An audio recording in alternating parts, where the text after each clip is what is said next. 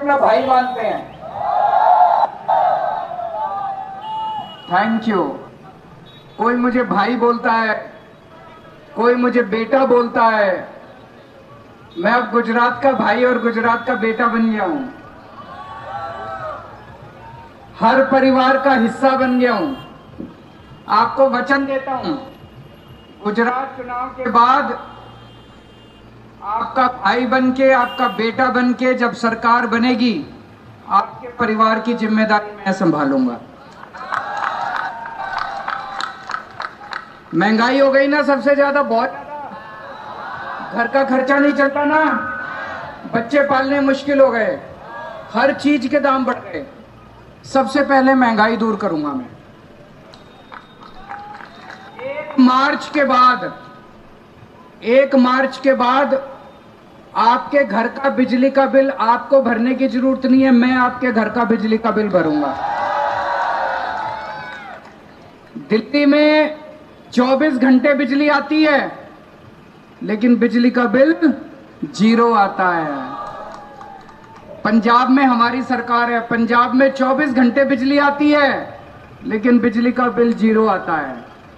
गुजरात में भी एक मार्च के बाद 24 घंटे बिजली आएगी, लेकिन बिजली का बिल ज़ीरो आएगा। ये मैजिक है, जादू है। 24 घंटे बिजली और बिजली का बिल ज़ीरो पूरी दुनिया में कहीं नहीं है, केवल दिल्ली और पंजाब में है, अब गुजरात में भी होगा। ये जादू केवल केजरीवाल को करना आता है और किसी ऊपर वाले से वरदान मिला है मेरे को। केवल केजरीवाल को आता है, भाजपा वालों को भी नहीं आता, कांग्रेस वालों को भी नहीं आता। मैं गुजरात में भी करूँगा सरकार बनने में। दूसरी चीज़, आपके बच्चों के लिए स्कूल बनवाऊँगा, बहुत अच्छे अच्छे दिल्ली में आप लोगों ने इंटरनेट पे, व्हाट्सएप पे, फेसबुक पे देखा होगा। दिल्ली में हमने शानदार स्कूल बनवाए, बहुत सारे। शानदार स्कूल। उसमें गरीबों के और अमीरों के एक साथ बच्चे बैठ के पढ़ते हैं। एक ही डेस्क पे जज का बच्चा, आईएएस का बच्चा और रिक्शे वाले का बच्चा एक साथ बैठ के पढ़ते हैं। अब गरीबों के बच्चे दिल्ली में, रिक्शे वाले का बच्चा इंजीनियर बन रहा है, मजदूर का बच्चा डॉक्टर बन रहा है, गरीबों के बच्चे वकील बन रहे हैं। ऐसे ही तो गरीबी होगी, दूर होगी देश की, है कि नहीं है? जब हम अच्छी शिक्षा देंगे तो गुजरात के अंदर भी शानदार स्कूल बनवाऊँगा चारों तरफ़। अब आपको प्राइवेट स्कूलों की ज़्यादा फ़ीस देने की ज़रूरत नहीं पड़ेगी। आपके बच्चों की अच्छी शिक्षा दूँगा, आपके बच्चों को अच्छा भविष्य दूँगा, आपके बच्चों की ज़िम्मेदारी मेरी, आपके बच्चों की शिक्षा की ज़िम्मेदारी मेरी। दिल्ली में हमने शानदार अस्पताल बनवाए हैं। बहुत अच्छे अच्छे अस्पताल, प्राइवेट से भी अच्छे। और खूब मोहल्ला क्लिनिक बनाए हैं। गुजरात में भी शानदार अस्पताल बनाएँगे। हर गाँव में बीस हज़ार मोहल्ला क्लिनिक बनाएँगे। दिल्ली में हमने सबका इलाज मुफ़्त कर दिया। पाँच रुपए की गोली, वो भी मुफ़्त, और अगर दस लाख, पंद्रह लाख रुपए ऑपरेशन में लगेंगे, वो भी मुफ़्त। आपके भी घर के सब लोगों का इलाज मुफ़्त कराऊँगा। मैं आपका ज़िम्मेदारी लूँगा। आपके घर में भगवान ना करे कोई बीमार हो। लेकिन अगर कोई बीमार होता है, आपका भाई उसका खर्चा उठाएगा, आपको चिंता करने की ज़रूरत नहीं है। बेरोजगारी भी बहुत हो गई, है कि नहीं है? दिल्ली में पाँच साल में मैंने 12 लाख बच्चों के लिए रोज़गार तैयार किए। गुजरात में भी बच्चों को रोज़गार देंगे, और जब तक रोज़गार नहीं मिलता, हर बेरोजगार बच्चे को हर महीने तीन तीन हज़ार रुपए बेरोजगारी भत्ता मिलेगा। बहुत सारे काम करने हैं। आप लोगों से बस ये कहने आया हूँ, मैं सीधा साधा आदमी हूँ पढ़ा लिखा आदमी हूँ, शरीफ आदमी हूँ, मेरे को गुंडागर्दी करनी नहीं आती उन लोगों की तरह। उन लोगों की तरह मेरे को मारपीट करनी नहीं आती गाली गलौज करना नहीं आता, गुंडागर्दी करनी नहीं आती। पढ़ा लिखा आदमी हूँ, इंजीनियर हूँ, स्कूल बनाने आते हैं। अगर आपको अपने बच्चों के लिए स्कूल चाहिए, मेरे पास आ जाना, और अगर गुंडागर्दी करनी है, उनके पास चले जाना। अगर अपने अस्पताल बनाने हैं, मेरे पास आ जाना। अगर आपने गाली गलौज करना, उनके पास चले जाना। भ्रष्टाचार करना, उनके पास चले जाना। मैं आपकी सड़कें बनवा दूँगा, बिजली दे दूँगा, पानी दे दूँगा, ये सब करना मेरे को आता है। राजनीति करनी अभी मैं रस्ते में आ रहा था। कुछ लड़के बीच में चिल्ला रहे थे, मोदी मोदी, मो मैं उनको भी कहना चाहता हूँ, उनसे मेरा कोई द्वेष नहीं है। वो जिसका नाम लेना चाहते हैं, ले।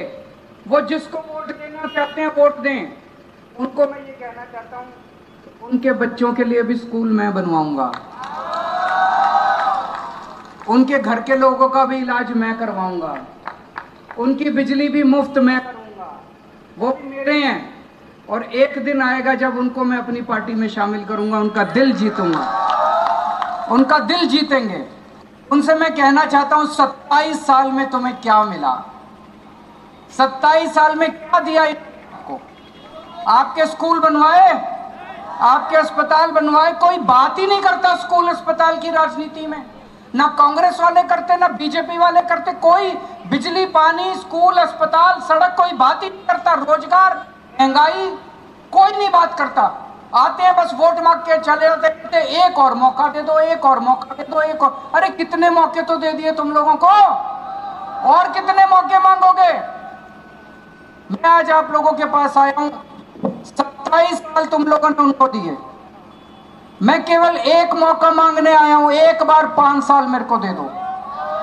अगर मैं काम ना करूँ अगली बार मेरे को वोट मत देना, अगली बार मैं आपके बीच में नहीं आऊँगा अगर मैं काम ना करूँ तो। मेरे पास चुनाव लड़ने के पैसे नहीं है। मैं, हम लोगों ने कट्टर ईमानदारी से दिल्ली में सरकार चलाई है, पंजाब में सरकार चलाई है। सात साल से मुख्यमंत्री हूँ दिल्ली का। मैं चाहता तो करोड़ों रुपए कमा लेता, हज़ारों करोड़ रुपए। मेरा बैंक अकाउंट भी खाली है, मेरी पार्टी का बैंक अकाउंट भी खाली है।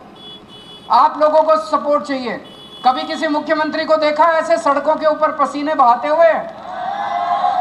पूरे गुजरात में घूम रहा हूँ मैं, सड़कों के ऊपर घूम रहा हूँ, धूप के अंदर पसीने बहा रहा हूँ। आप लोगों का साथ चाहिए, एक प्रॉमिस करो, मेरे यहाँ जाने के बाद सब अपना फ़ोन निकालेंगे और व्हाट्सएप खोलेंगे। व्हाट्सएप में जितने भी नंबर को मैसेज करेंगे, दोस्त को, रिश्तेदार को मैसेज करेंगे। कि एक मौका इस बार केजरीवाल को देते हैं, एक बार इसको ट्राई करके देखते हैं। करेंगे कि नहीं करेंगे?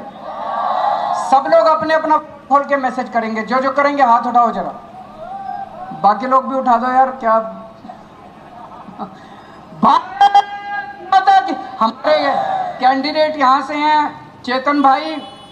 इनके, इनको भारी बहुमत से जिताना है, सबसे ज़्यादा मार्जिन से पूरे गुजरात में जिताना है इनको। इनके आगे आगे झाड़ू का निशान होगा। झाड़ू का बटन दबाना है। इतना बटन दबाना है, इतना बटन दबाना है कि बटन खराब हो जाए थैंक यू नमस्कार, मैं हूँ मानक गुप्ता। अगर आपको हमारा ये वीडियो पसंद आया हो तो इसे लाइक और शेयर ज़रूर करें। और हाँ, हमें सब्सक्राइब और फॉलो करना ना भूलें। ताकि आप देश और दुनिया की कोई खबर मिस ना करें। तो जुड़े रहिए हमारे साथ और देखते रहिए न्यूज़ 24